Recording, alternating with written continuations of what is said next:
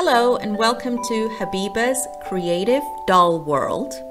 These are my custom dolls and I've been obsessed with dolls for as long as I can remember. As a little girl, my parents gave me dolls, thank God. And even if you don't love dolls or find them a little scary, which you really shouldn't, I hope you will appreciate this video and the creativity it takes to make custom dolls.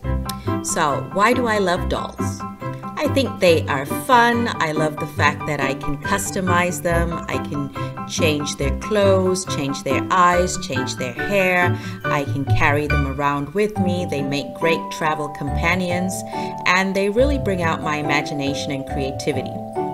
So, usually, when I travel as a physician out of town, it can get very lonely, and so I like to bring my dolls with me.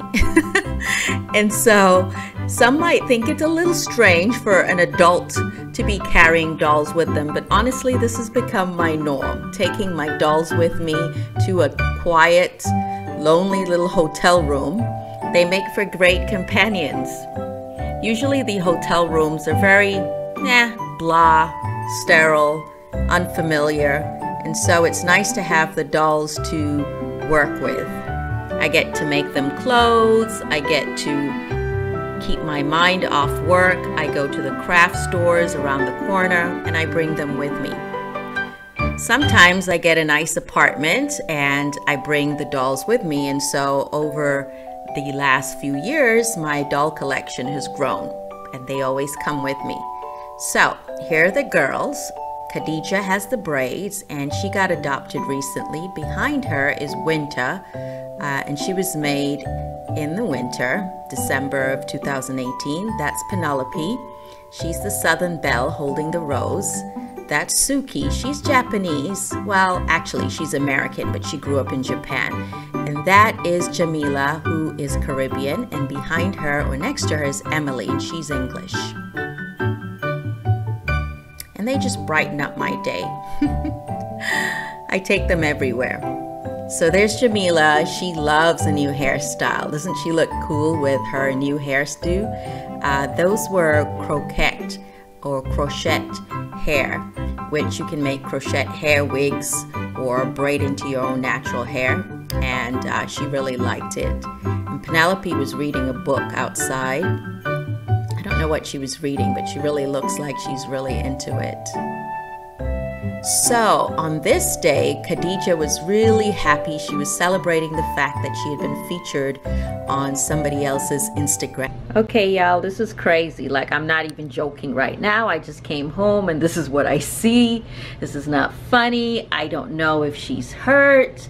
The chair's on the floor. She was on the fireplace, and this was it looks like. I don't know if one of the girls pushed her or whether she jumped and she missed, but this does not look good. And uh, she's looking down and she looks mighty guilty.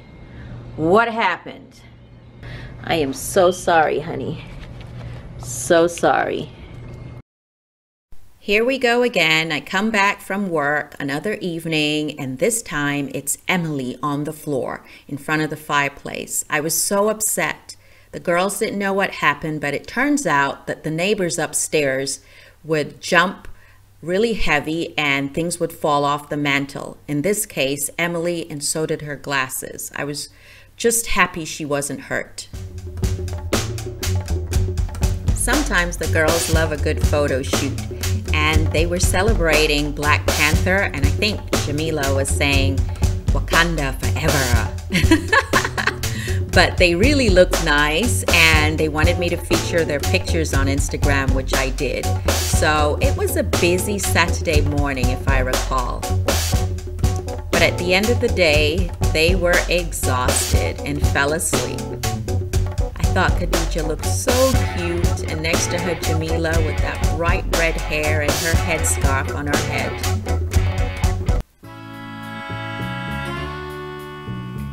This is another weekend, and the girls wanted to play.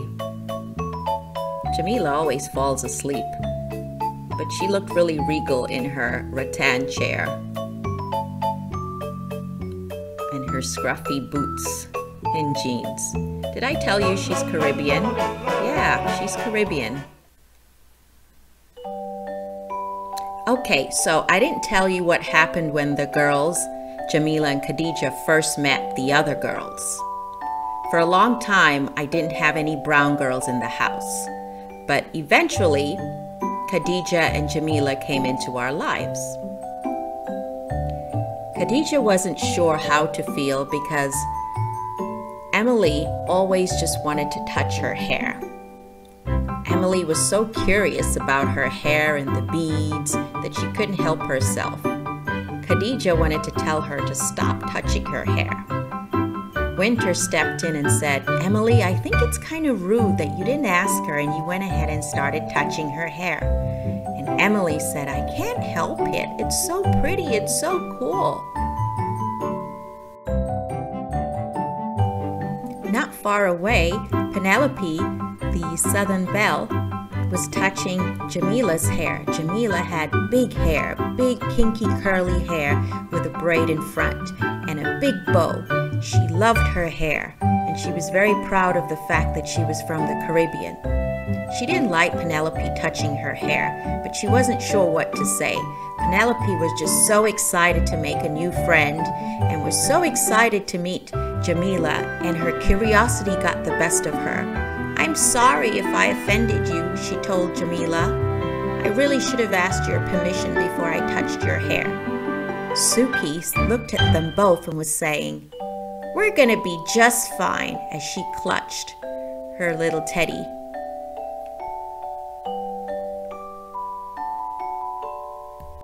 It wasn't long before the girls all sat down to play Suki, Teddy, and Jamila. They played with their donuts and they had a little tea party with muffins. Emily showed up. She was feeling mopey. You guys never play with me. I always feel left out. Suki said, That's not true. You just need to learn to share. If you will share your teddy bear Rufus with us, you can come play. Okay, said Emily. I'll share. So she gave Jamila her teddy bear Rufus, the handmade felt teddy bear. Jamila was really happy to hold Rufus. It made her feel all warm and cuddly. Emily sat down next to them to eat. Because Khadija and Jamila were new to the house and Khadija did not see Jamila, she began yelling for her, Jamila, Jamila, where are you? I've made a new friend. Her name is Winter. Jamila responded, I'm here. I'm playing with Rufus. Come over here. I'm fine. Suki yelled back, We're fine. And they sat and played all together, despite their differences. It turns out Khadija was an avid reader. She loved to read and so she decided to read the girls a story. And they all sat back, intently listening to her story about her travels all the way from Ghana. Wow. Okay, I know what you're thinking. This was a story about dolls. Why the salad? Well, that's my favorite salad. Pecans, walnuts, cranberries, feta cheese, arugula, salad dressing, blueberries. Give it a good toss. And that's what I did and walked away. I come back and there is Jamila and Khadija and the rest of the girls in my salad. Nobody had asked me. Nobody had washed their hands. Nobody had knives and forks. I wasn't very happy to see them in my salad. I'll get you a bowl. All you had to do was ask permission. Fancy Baby stood there saying, It wasn't me, it wasn't me. Yes, you guys haven't met Fancy Baby. She's the newest doll in the house. So this is where the girls got together, Khadija, Jamila, and Fancy Baby. Fancy Baby's the youngest in the house and she loves playing outside in the flowers. Here she is with Khadija. Jamila didn't like the flack they were playing in the flowers and digging up some of the flowers. I just wanted to have fun, said Fancy Baby. I love the flowers. And Khadija said, I like lying in the flowers. What's wrong with that? Jamila was stern. Then there was the day Penelope was playing in the eggplants. The baby eggplants. She was playing hide and seek with Teddy below her. Can you see me? Can you see me? She had long blonde hair. And because she had long blonde hair, her head was often heavy and she fell backwards. I had to come and lift up her head and make her stand again.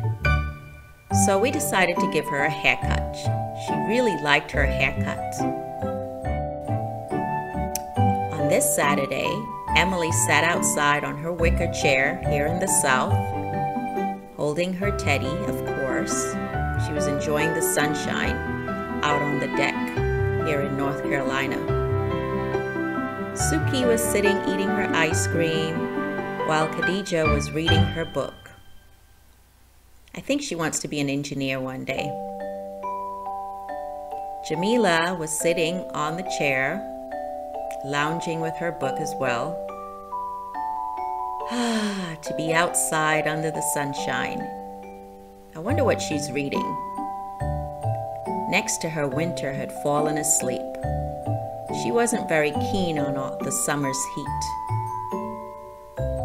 She looked so adorable lying there. I wonder what she was dreaming.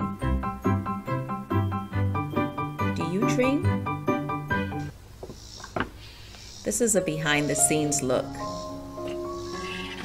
I love taking pictures for Instagram. And usually this is what it looks like. Posing the girls.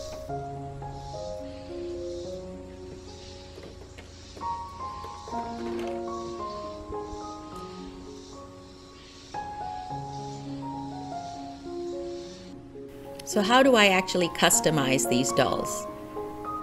Well, there's a lot of chiseling and carving and painting and coloring and dismantling and experimenting and getting parts, sometimes ordered from as far as China or Japan or Russia.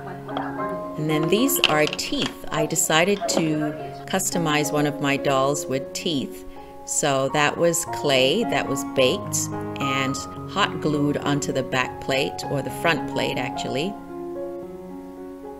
And she has teeth. So I was very proud of myself because it took a lot of patience and fiddling. And now time to put the doll back together. There's a lot of screws and string and it takes a lot of patience. I also love the fact that I get to make them wigs. This is where I really get creative. Wigs made out of human hair, which is not always ideal. Ideally, or traditionally, most dolls are made with nylon hair. But you can also find other types of synthetic hair or goat hair or even soft alpaca hair or mohair. And these were wefts that I had used for a real wig I thought, why not use it to make a doll wig? So she had a wig cap and it fit really well and then we braided the hair. And I thought she looked so cute. This is braiding hair that we made into a wig. I don't know why I keep saying they. They was really me. and then this is another wig made with hair used for crochet hair. You know, you can make crochet wigs. You can get the hair from the beauty shop. Well, I like the way Jamila sat here patiently as I made her a wig and then trimmed it so that it would suit her face and be more realistic. I think it came out cute. What do you think? If you want me to make a video about how I make all these different wigs, definitely let me know in the comments below. This is another wig I made uh, with braiding hair or twisting hair and it came out really natural because I find it important that my brown dolls have hair textures that look realistic. To make the clothes, there's a lot of cutting and hand sewing. So it's fun, it makes me feel happy, it makes me feel imaginative, and I hope you loved this video And if you did, go ahead and share it with another little girl who needs to be inspired and creative.